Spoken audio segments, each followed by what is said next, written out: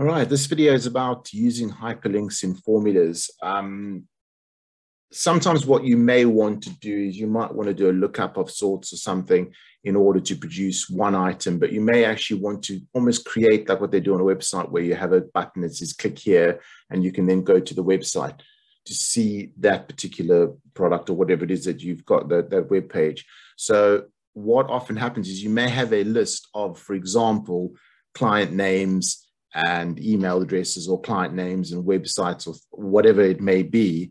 And you might want to actually um, use a different page to produce results from that page.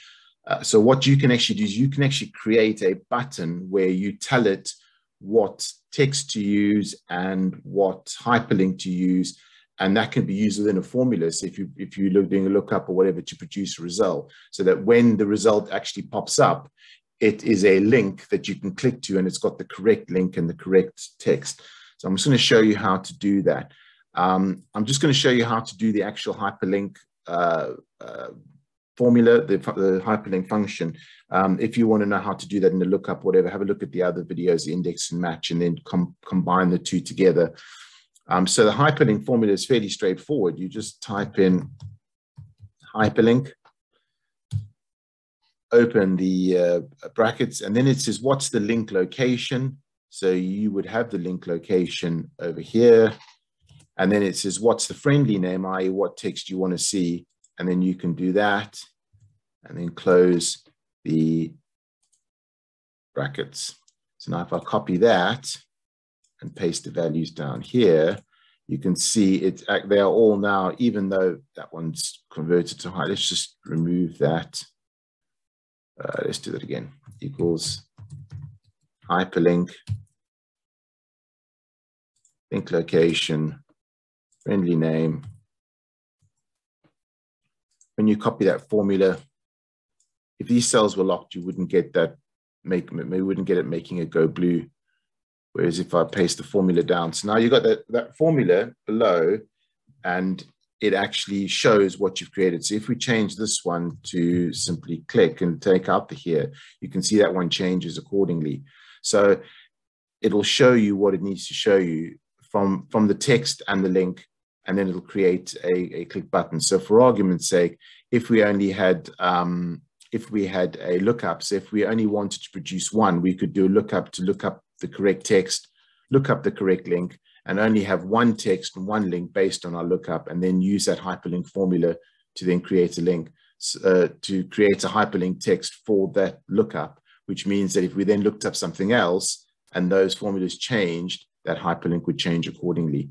So we can only, we only really need to have one of those and do a lookup in order to create that hyperlink. So yeah, hopefully that's, um, that's helpful to you. And yeah, me, in fact, while I'm here showing you how to hyperlink, let me show you the, the full thing, what I'm talking about.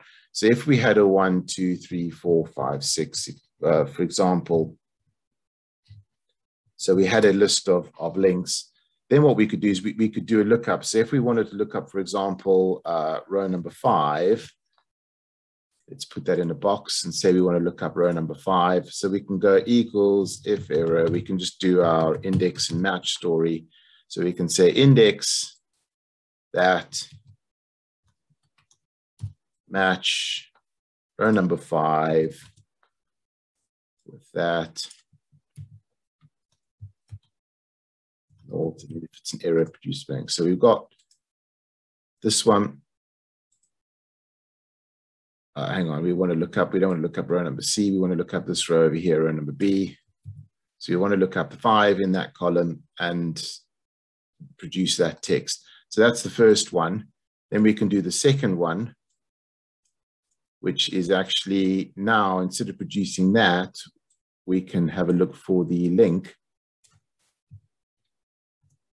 There we go. So we've got the link and we've got that for the particular number. So now if we go and change that to five, we obviously we've got five, we've got the click. If we were to change that to four, four it'll say click here because now it's looking up number four, that kind of thing. And then what we can do is we can use that same um, mythology, the same formula that we just used now equals hyperlink. And we can refer to what we've just looked up. So we can say the link friendly, uh, the link location is that, and the link friendly name is that. And now we've got ourselves a hyperlink for that particular um, page. If we now go and change it to number five, it changes accordingly. And now we've got a new hyperlink for the new one that we've done. So this hyperlink is quite useful because you can take this raw data and you can do whatever formulas you want to do with it and then put the hyperlink on afterwards in order to actually produce the correct uh, text and the correct link for whichever, we call this a button that you're trying to create in order to click through to the website. So I hope that all makes sense. Um, and yeah, I add a little bit in at the end of the video. Hopefully that's uh, useful to see how you can use this in the broader context uh, combined with, with other formulas. So yeah, all the best for that. Thank you. Bye-bye.